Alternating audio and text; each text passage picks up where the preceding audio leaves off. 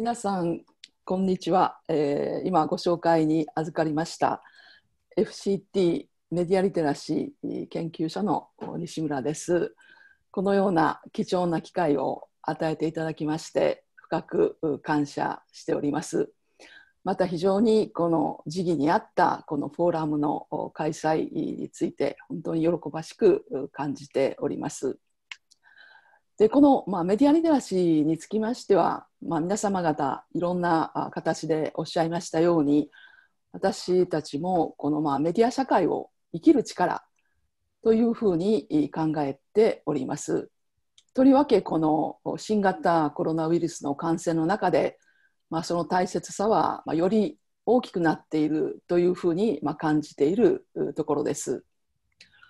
先日たまたまこの、まあ、FCT も協力をさせていただいて市民講座でこの、まあ、コロナ禍の中のニュースを使って、まあ、メディアテラシー講座を、まあ、実施しました。でまあ、普通の日の、まあ、ニュースの一部を見て、まあ、参加者がこう分析をして、えーまあ、話し合ったわけなんですけど、まあ、終わった後一人の女性が70歳過ぎて目が覚めたニュースの見方が変わったというふうに、まあ、おっしゃってくれました。まあ、これはまあ今まで当たり前と思っていたことが実はそうではないというふうに気が付くということはこの社会の見え方というものが間違って見えるということにつながると思います。でこの基礎教育の取り組みにつきまして先ほど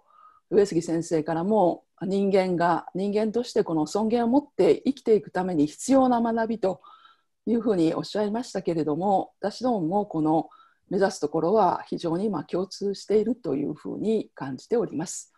従いましてその基礎教育をベースにしてこのメディア情報リテラシーということを考えていくという、まあ、この企画は非常にま意義深いものであるというふうに、え感じております。でまたこのせっかくの機会でありますのでこの私たちの FCT について少しあのご紹介をあのさせていただければと思います。で私たちの NPO は、えーまあ、1900あちょっと画面をあの共有させていただきます。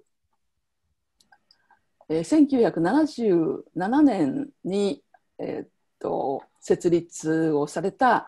全くこのボランタリーな形で活動をしている、えー、団体です。はい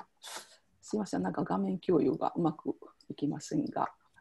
えー、っと1977年にできたあ NPO, NPO というか最初は任意組織だったわけなんですけれども、まあ、1999年に NPO として認証されております。ですので、まあ、今年で43年目をまあ迎えるわけなんですね。でこの発足のきっかけというのはこのテレビをはじめとするこのメディア問題について、まあ、視聴者読者で研究者教員メディア関係者制作者が一堂に会して、まあ、それぞれの立場を超えて一人の市民としてこう語りこう考える、まあ、そういう広場を作っていこうというそのために、えー、作られました。で発足当初からこう自分たち自身でまあ、メディアを分析して、まあ、実証的なデータを作って、まあ、それに基づいて、えー、社会に発信していくということをまあ大事にしてきました。でまあ、創設者は今は亡き、えー、鈴木、えー、みどりが創設をしたわけなんですが1992年にカナダのオンタリオ州のテキストである、えー、マスメディアを読み解くあ出てきました。すいません。マスメディアを読み解くというものを、まあ、日本に、まあ、翻訳出版した。それがきっかけとなって、まあ、日本にこの、まあ、メディアリテラシーというものを、えー、紹介していく、まあ、そういう、まあ、きっかけになったのではないかというふうに考えております。で、このまあ創設者の鈴木みどりが、まあ、メディアリテラシーとはということについて、まあ、定義をしているわけなんですが、まあ、このように、まあ、メディアリテラシーとは市民がメディアを社会的文脈でクリティカルに分析し評価しメディアにアクセスし多様な形態でコミュニケーションを作り出す力を指すでまたそのような力の獲得を目指す取り組みもメディアリテラシーというというふうに定義をしております。でまた明日の、まあ、テーマでも非常にこのクリティカルということが、まあ、重要になっているようですけれども私たちもこの、まあ、発足以来このクリティカルなメディアリテラシーということを、まあ、大切にしてまいりました。で、えー、また今現在はですね、まあ、ここにあるような、まあ、プロジェクトごとに、まあ、取り組んでいるわけなんですけれども、まあ、今日はちょっとだけあの2点だけお話をしたいんですけども、まあ、1つは一番下のこの研修セミナーというふうに書いておりますけれども2000年から毎年このメディアリテラシー研修セミナーというものを開催しております。これは2日間の短期で体系的にこのメディアリテラシーを学ぶ場そういうものを作ってきました。まあ、学生大学院生研究者教育者 NGO など、まあ、多様な人々が参加をして、えー、会を重ねてきたところです。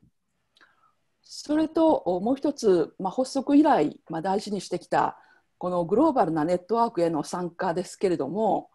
今年はこの GMMP グローバルメディアモニタリングプロジェクト